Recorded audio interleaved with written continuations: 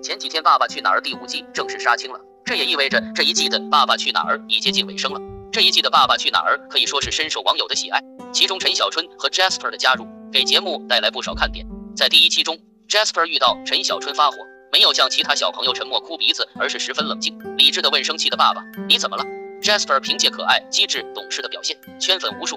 走红后，风头一度盖过娱乐圈的老司机应采儿。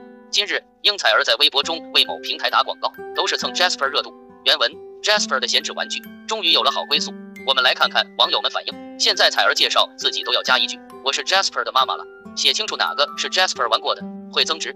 还有网友直接想要一个 Jasper，Jasper 的玩具肯定不能少巴斯光年。